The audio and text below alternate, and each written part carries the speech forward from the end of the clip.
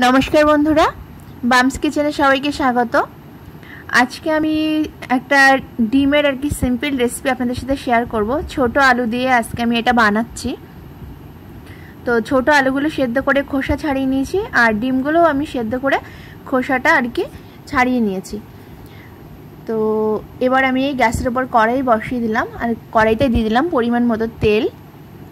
আর প্রথমেই আমি ডিমগুলোকে একটু লবণ আর হলুদ মাখিয়ে ভালো করে ভেজে নেব। তো ডিমগুলোতে আমি একটু লবণ, হলুদ মাখিয়ে একটু ভেজে নিচ্ছি। তো ডিমগুলো এখন আমার ভাজা হয়ে গেছে আর আমি ডিমগুলোকে এখন তুলে রাখছি।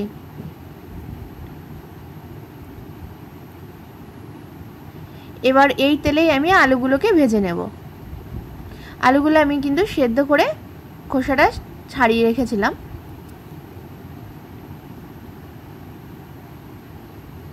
খুব সিম্পল একটা রেসিপি আর এই রেসিপিটা হচ্ছে ভাত বা রুটির সাথে কিন্তু খাওয়া যাবে। ভাত, রুটি, পরোটা যে কোনো কিছুর সাথে আর কি এটা খাওয়া যাবে। তো আলুগুলো আমার এখন ভাজা হয়ে গেছে, এগুলোকে তুলে নিলাম।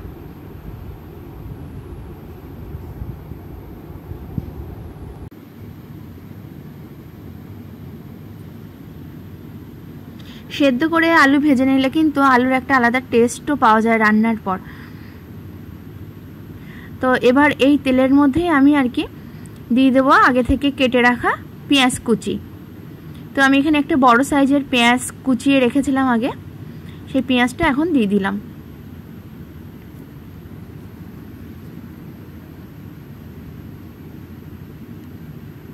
আর এটাকে একটু ভালো করে আমি ভেজে নিচ্ছি।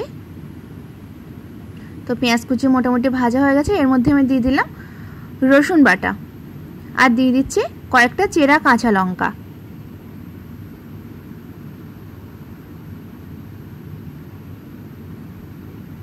আর রসুনটা একটু ভালো করে ভেজে নিচ্ছি, যাতে রসুনের কাঁচা গন্ধটা না থাকে। তো এবার এর মধ্যে দিয়ে দিলাম আদা বাটা।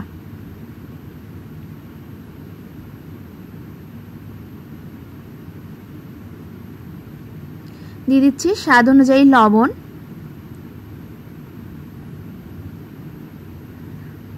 এখন দিলাম হলুদ গুঁড়ো।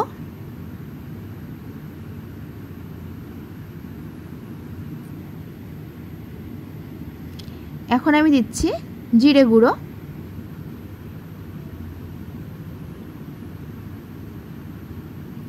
দু চামচ দিয়েছি জিরে গুঁড়ো। দিয়ে দিলাম ধনে গুঁড়ো।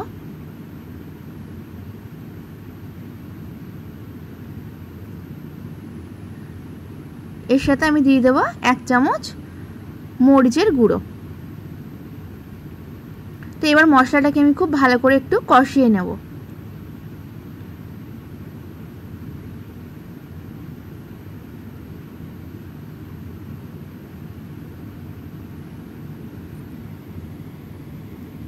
সমস্ত মশলা মিশিয়ে আমি কিন্তু একটু ভেজে নিচ্ছি। আর মশলাটা যাতে পুড়ে না যায়, তার জন্য আমি অল্প একটু জল অ্যাড করলাম।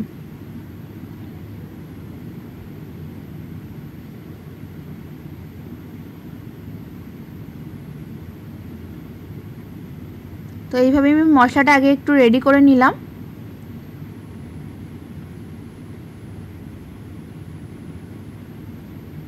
তো মশলা দিয়ে তেল ছাড়তে শুরু করেছে, এবার এর মধ্যে আমি দিয়ে দেবো আগে থেকে ভেজে রাখা আলুগুলো।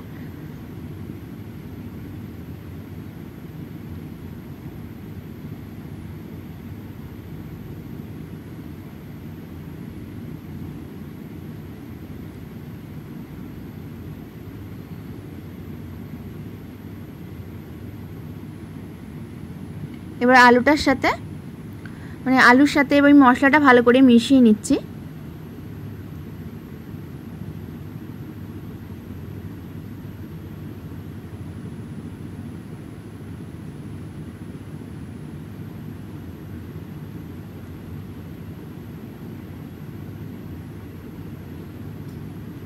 বেশ কষা কষা হয়ে গেছে ব্যাপারটা। এবার এর মধ্যে আমি দিয়ে দেবো আগে থেকে ভেজে রাখা ডিমগুলো।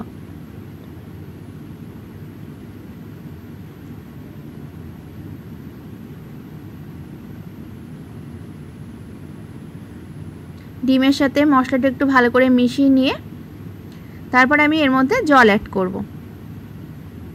খুব সিম্পল এই রান্নাটা। কিন্তু খুব টেস্টি হয়। তো এবার আমি জল দিয়ে দিলাম। এবার আলুটা যেহেতু সেদ্ধ, সেজন্য খুব বেশিক্ষণ লাগবে না রান্নাটা হতে। কিছুক্ষণ ফুটলেই আর কি রান্নাটা রেডি হয়ে যাবে। তো আমার রান্না যদি আপনাদের ভালো লাগে অবশ্যই কিন্তু আমার চ্যানেলটাকে সাবস্ক্রাইব করবেন আর কমেন্ট করে কিন্তু জানাবেন যে রান্নাটা কেমন হয়েছে। আর বাড়িতে অবশ্যই আপনারা ট্রাই করবেন। এখন আমি দিয়ে দিচ্ছি গরম মশলা গুঁড়ো। হাফ চামচ পরিমাণ গরম মশলা আমি এর মধ্যে অ্যাড করলাম। তো রান্নাটা আমার এখন রেডি হয়েই গেছে। আর আপনারা বাড়িতে এইভাবে ট্রাই করবেন, এইভাবেই রান্না করে খেয়ে আমাকে জানাবেন কমেন্ট করে কেমন হয়েছিল রান্নাটা। আর ভিডিওটা যদি আপনাদের ভালো লাগে, অবশ্যই একটা লাইক করে দেবেন। তো আমার এখন রান্নাটা প্রায় হয়ে গেছে। এবার আমি গ্যাসটা অফ করে দেব। তো রান্নাটা কমপ্লিট। আর আমি একটা বাটিতে নামিয়ে নিয়েছি। আজকে আমি রুটি দিয়ে খাব। এটা ভাত, রুটি, পরোটা সব কিছুর সাথে কিন্তু খাওয়া যাবে। তো ভিডিওটা আমি এখানেই আজকে শেষ করলাম।